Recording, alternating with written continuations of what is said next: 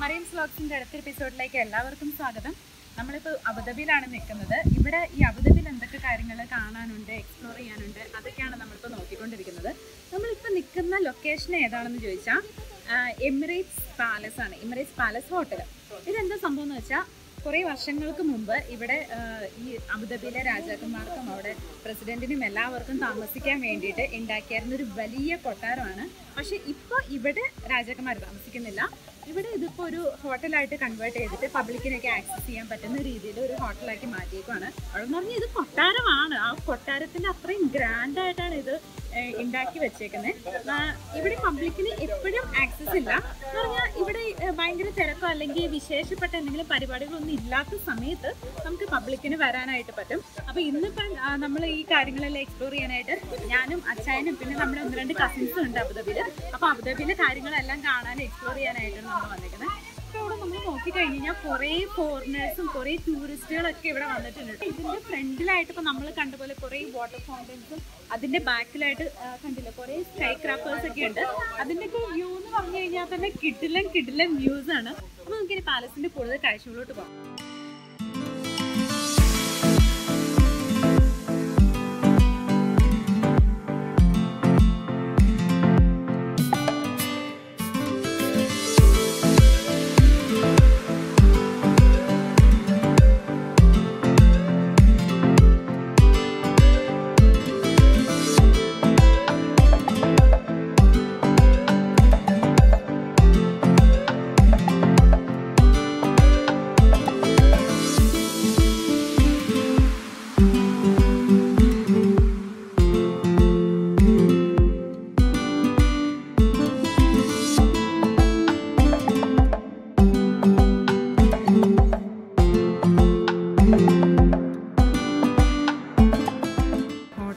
ഉള്ളിലുള്ള വിഷ്വൽസ് ആണ് നമ്മളിപ്പോൾ കണ്ടുകൊണ്ടിരിക്കുന്നത് ഇതിന്റെ അകത്തോട്ട് കയറാൻ നേരത്തെ അവർ പറഞ്ഞായിരുന്നു വീഡിയോഗ്രാഫി അലൗഡ് അല്ലാന്ന്.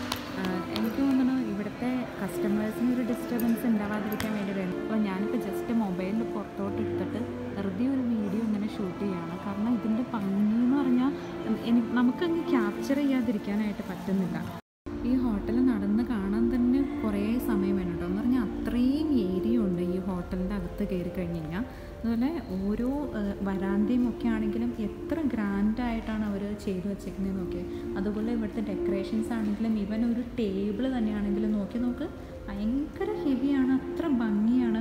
ഒരു ട്രഡീഷണൽ സ്റ്റൈലിലും അതുപോലെ മോഡേൺ ലൈറ്റിംഗ് കൊടുത്തത് ട്രഡീഷനും ഒരു മോഡേൺ സംഭവങ്ങളെല്ലാം കൂടെ ജോയിൻ ചെയ്ത് വന്നു കഴിഞ്ഞാൽ എങ്ങനെ ഉണ്ടാവും? അമ്മാതിരി കിടലിനായിട്ടാണ് ചെയ്തിരിക്കുന്നത്.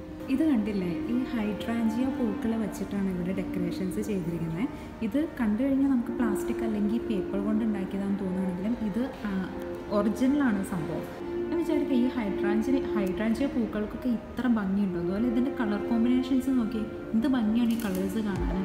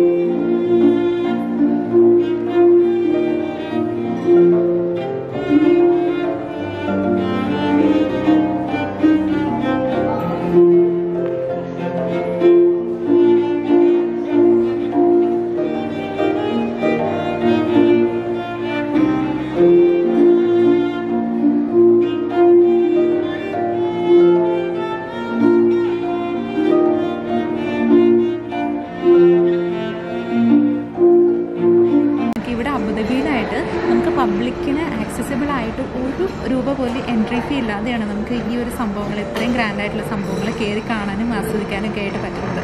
അപ്പം ഈ ഒരു സംഭവം എല്ലാവർക്കും എത്ര പേർക്ക് അറിയാമെന്ന് എനിക്കറിയാൻ പാടില്ല. എപ്പോഴും സത്യം പറഞ്ഞാൽ എപ്പോഴും ഇവിടെ എൻട്രി ഇല്ല. നമ്മളിപ്പോൾ ഇവിടെ എൻട്രി ഉള്ള സമയം നോക്കിയിട്ട് വേണം ഇവിടെ വരാൻ. ഒരു പ്രാവശ്യമെങ്കിലും വന്ന് വിസിറ്റ് ചെയ്യണം എന്നാണ് ഞാൻ പറയുന്നത്. അത്രയും അത്രയും കാണാനുണ്ട് ഇവിടെ ഈ ഒരു പാലസ് പോലത്തെ ഈ ഒരു ഹോട്ടലിന്റെ അടുത്ത്. അത്രമാത്രം കാണാൻ എക്സ്പ്ലോർ ചെയ്യാനായിട്ടുണ്ട് ഇവിടെ ഇതിന്റെ താഴെയായിട്ട് കുറേ വാട്ടർ ഫൗണ്ടൈനൊക്കെ ഉണ്ടാക്കി വെച്ചിട്ടുണ്ട്.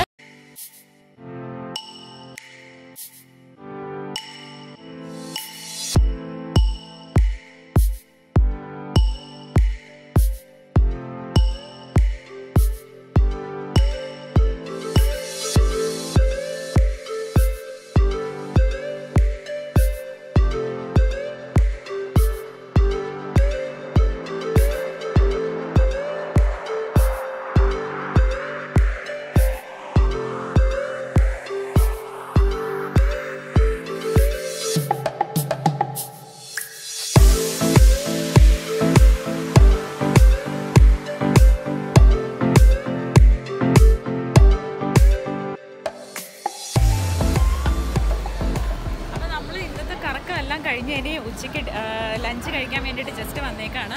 ഇവിടെ മദീനത്ത് സായിദ് എന്ന് പറഞ്ഞ ഏഹ്, അബുദാബിയിലെ തന്നെ വലിയൊരു ഷോപ്പിംഗ് സെന്ററാണ് അപ്പോൾ അതിന്റെ അകത്ത് നമ്മുടെ ഫേമസ് ആയിട്ടുള്ള ഇവിടെ ഗൾഫിലെല്ലാം ഭയങ്കര ഫേമസ് ആയിട്ടുള്ള കാലിക്കറ്റ് നോട്ട്ബുക്ക് അപ്പോൾ അങ്ങനെ ഒരു മലയാളി തനിമയിൽ കുറച്ച് ഫുഡ് കഴിക്കാമെന്ന് വിചാരിച്ച് ഞങ്ങൾ വന്നേക്കാണ്. അപ്പൊ ഇതിന്റെ ഫ്രണ്ടിലായിട്ട് തന്നെ കണ്ടില്ല. അവരൊരു ചെറിയ എന്താ പറയാ നമ്മൾ പള്ളി പെരുന്നാളിനൊക്കെ പോകുമ്പോഴത്തേക്ക് ഉണ്ടാകുന്ന ഒരു സെറ്റപ്പ് ഉണ്ടല്ലോ. കുറേ നാടൻ മിഠായികളും അല്ലെ പണ്ടത്തെ തേൻ മിഠായിയും അങ്ങനെയുള്ള സംഭവങ്ങളൊക്കെ പോലെ തട്ടുകട എന്ന് പറയുമോ എനിക്കറിയില്ല. ഇതിനെന്താ പറയാ? എന്തായാലും അങ്ങനെ ഒരു സംഭവം അവർ സെറ്റപ്പ് ചെയ്തിട്ടുണ്ട്. നല്ല രസമുണ്ട് ഇവിടെ കുറേ വെറൈറ്റി സംഭവങ്ങളുണ്ട്. നാട്ടിലൊക്കെ ഇട്ടേക്കുന്ന ഇതാ കുറേ ഉപ്പിലിട്ട സംഭവം ഇതെന്താണ്? ഇത് ക്യാരറ്റ് ഇത് എന്താ സബർജില്ലി. അപ്പോൾ ഇതെന്താ? പൈനാപ്പിൾ ഉണ്ട് ഇത് ആപ്പിൾ അങ്ങനെ കുറേ സംഭവങ്ങളുണ്ട് ഉപ്പിലിട്ടത്. പിന്നെ പിന്നെ കുറേ അച്ചാർ. പിന്നെ ഈ ഒരു സൈഡിലോട്ട് വരുമ്പോഴത്തേക്കും എന്താണ്ട് നമ്മുടെ നാട്ടിൽ കുറേ അടിപൊളി മിഠായികളുണ്ട്. ഇതിന്റെ ഒക്കെ പേരൊക്കെ അറിയാൻ പാടില്ല. ഇത് മിഠായി നമ്മുടെ കടല? കടല മിഠായി ഇത് നാരങ്ങ മിഠായി ഇതാ ഇത് പുളി പുളിയല്ലേ ഈ സംഭവം? പുളി മുട്ടായി പുളി മുട്ടായി ആണ് അങ്ങനെ കുറേ സംഭവം. ജെല്ലി ഉണ്ട് ഇതാ പണ്ട് നമ്മുടെ നാട്ടിൽ കിട്ടിക്കൊണ്ടിരുന്ന സംഭവമല്ലേ ഇത്? പിന്നെ കണ്ടിട്ടില്ല കേട്ടോ അങ്ങനെ കുറേ ഐറ്റംസ് അപ്പൊ ഇങ്ങനെ ഒരു കുറേ സംഭവങ്ങളൊക്കെ ട്രൈ ചെയ്യാനായിട്ട് ഇവിടെ വരാം. അല്ല ഇവിടെ കുറേ സ്പെഷ്യൽ ആയിട്ടുള്ള ഈ ഐസിൽ ഇങ്ങനെ എന്താ ഫ്ലേവർ ഒക്കെ ഇട്ടിട്ടുള്ള അതിനെന്താ പറയുക ഐസ് ഗോള. എന്താ? ഒറച്ച. ഒറച്ച ഐസ് എന്ന് പറഞ്ഞ ഒരു സംഭവമുണ്ട്. ആ ഒരച്ച ഒരച്ച ഒരച്ച ഐസ് എന്ന് പറഞ്ഞ സംഭവമുണ്ട്. അതൊക്കെ ഇവിടുത്തെ സ്പെഷ്യലാണ് അപ്പോൾ ഇതെല്ലാം ട്രൈ ചെയ്യണമെന്നുണ്ടെങ്കിൽ ഇവിടെ വന്ന് ട്രൈ ചെയ്യാം. എന്തായാലും നമ്മളിപ്പോൾ ലഞ്ച് കഴിക്കാനായിട്ട് വന്നതാണ്. നമ്മൾ ഫുഡ് എല്ലാം ലഞ്ച് എല്ലാം കഴിച്ചു കഴിഞ്ഞു. ബിരിയാണി ഒക്കെ കഴിച്ചു കഴിഞ്ഞാൽ വയറ് ഫുള്ളായിട്ട് അനങ്ങാൻ വയ്യാതിരിക്കുകയുണ്ടോ അപ്പോൾ അതായി പുറത്തിറങ്ങി വന്നപ്പോഴത്തേക്കും താണ്ട് ഇവിടെ നല്ല കിടിലൻ സമോവർ ചായയൊക്കെ അവർ ഉണ്ടാക്കിയിട്ട് നല്ല നാടൻ ചായയുടെ മണം വരുന്നുണ്ട്. അപ്പോൾ പിന്നെ ഇങ്ങനെ ചായ കുടിക്കാതെ പോകാൻ പറ്റുക ഓൾറെഡി വയറ് ഫില്ലായിട്ടിരിക്കുകയാണ് അപ്പോൾ അച്ഛൻ പറഞ്ഞു അച്ഛൻ എന്തായാലും ഒരു ചായയും കൂടെ വേണം. അതായത് ഇപ്പോൾ ഈ ചേട്ടൻ ചായ അടിച്ചുകൊണ്ടിരിക്കുക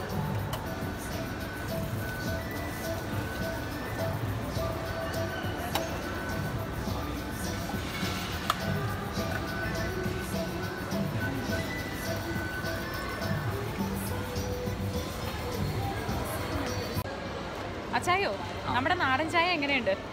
നാടൻ ചായ പൊളിച്ചു. നമ്മൾ നാടൻ തട്ടുകടയിലൊക്കെ പോയാൽ കുടിക്കുന്ന സെയിം അതേപോലെ തന്നെ നല്ല നാടൻ സ്മെല്ല് വരുമ്പോഴേക്കും നമുക്കത് ഫീൽ ചെയ്യുന്നുണ്ട്. അപ്പോൾ എല്ലാവരും വരണം. കഴിക്കണം. നല്ല ഫുഡുമാണ് ഞാൻ ഊണാണ് കഴിച്ചത് ഇവൾ ബിരിയാണി കഴിച്ചത്. എല്ലാം നന്നായിരുന്നു. ബിരിയാണി എനിക്ക് ഭയങ്കര ഇഷ്ടപ്പെട്ടു. അപ്പം വീണ്ടും കാണും വരെ. വണക്കം. ബൈ